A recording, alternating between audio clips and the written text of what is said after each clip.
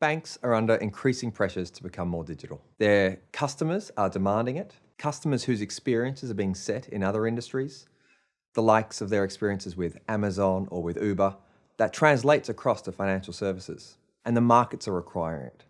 We're in a lower rate environment where it's going to be lower for longer. And so banks need to fundamentally look at how they can re-engineer their cost base. So how are banks tackling this? Some banks are taking the simple checklist approach online apps, website, online transactions. But really, forward looking banks and executives are taking this as an opportunity to reimagine customer experience and radically change their cost base. So, how are the banks doing that?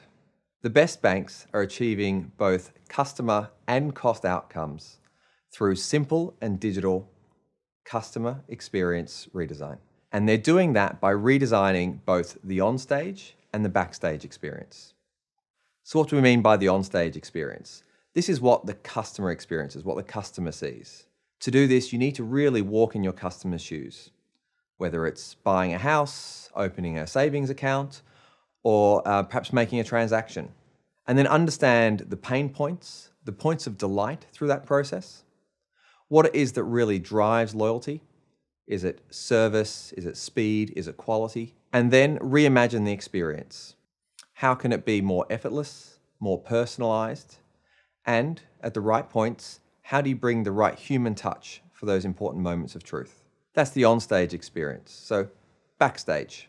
What we mean by the backstage experience is the experience for employees or performers.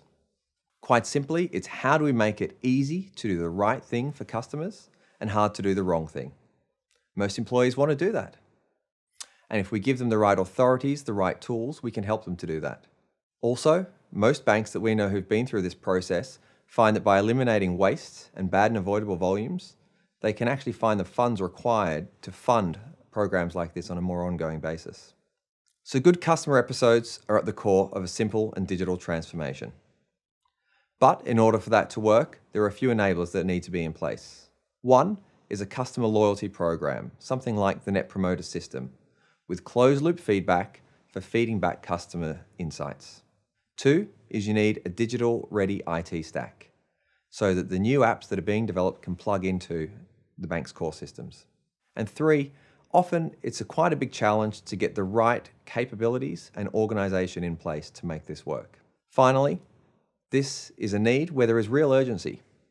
The experience curve is steep and both customer and competitive pressures are only ratcheting up.